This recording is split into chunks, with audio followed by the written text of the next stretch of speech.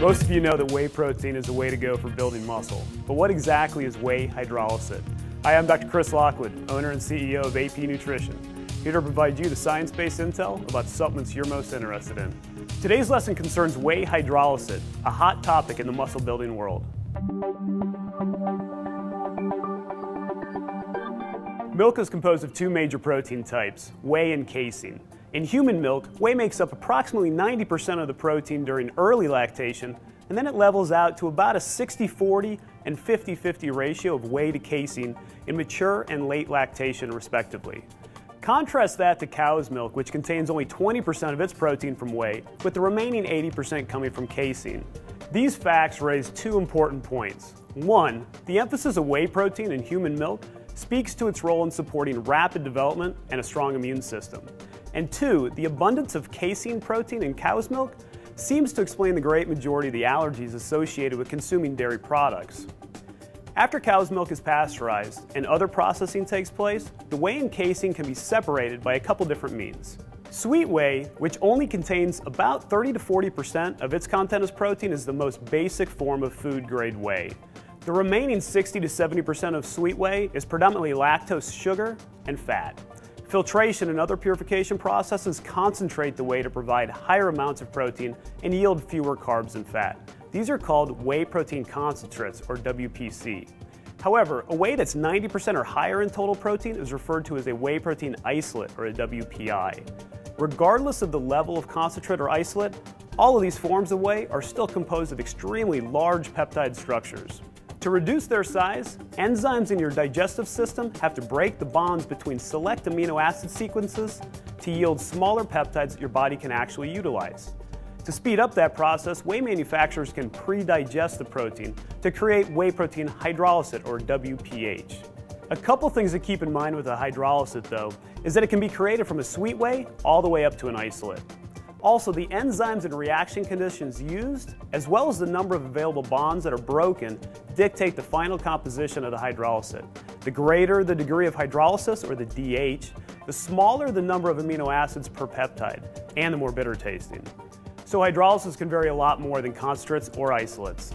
Whey hydrolysate is great for anyone looking for a high quality protein source capable of helping them achieve their total daily protein goals and maximize muscle growth. Additionally, because of its significant effects on insulin and satiety, a hydrolysate is a great protein source for post-workout supplements or anyone looking to increase muscle mass while reducing body fat. Whey protein is ideal for stimulating muscle growth, having been demonstrated to provide the greatest anabolic response to weight training versus other protein sources such as casein or soy.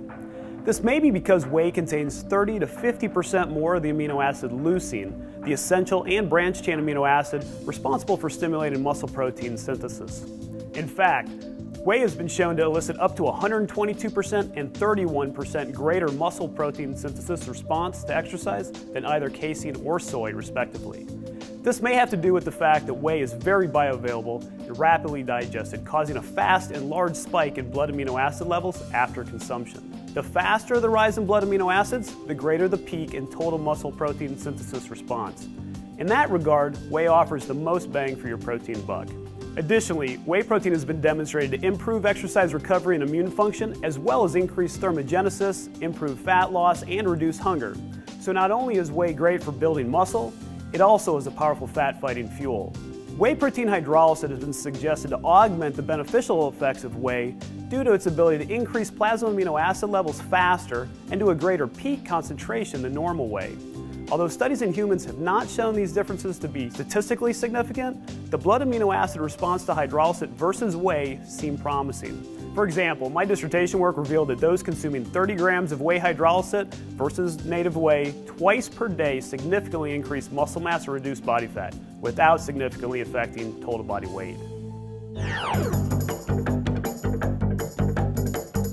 Paradoxically, while the rapid spike in blood amino acids from hydrolysate is beneficial for stimulating protein synthesis, it also increases amino acid oxidation, that is, the breakdown of amino acids for energy. Now, some people consider this increased oxidation a waste of amino acid.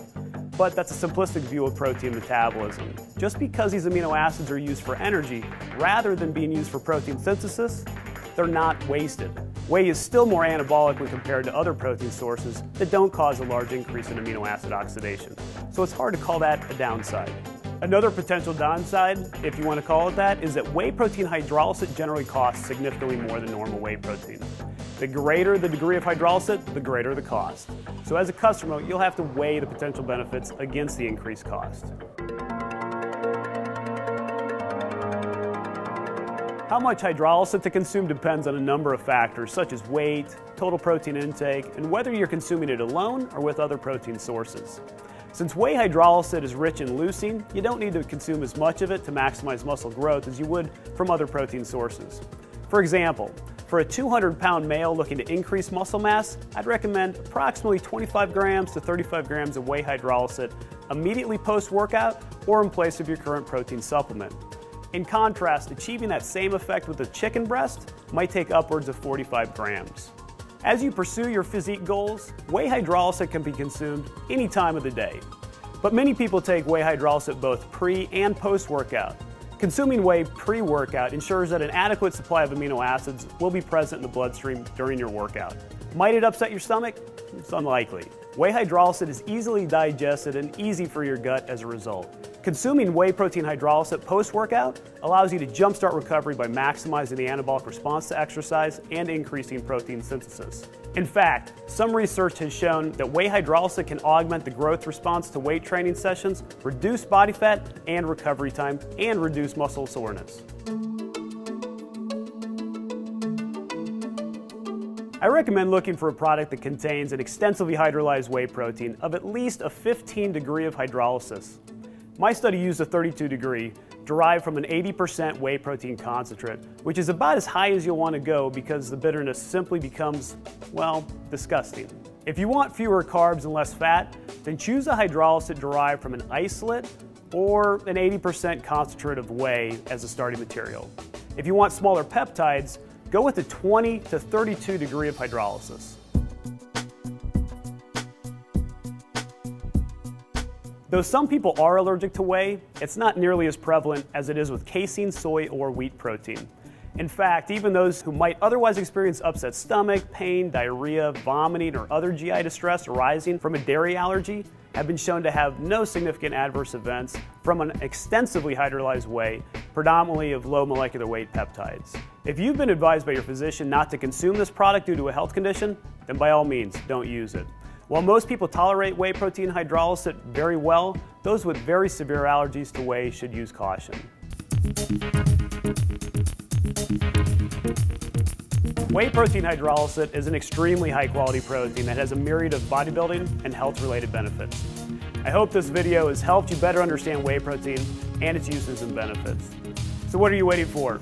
Pick up some whey protein hydrolysate here at bodybuilding.com. Bodybuilding.com, translating supplement science into real results.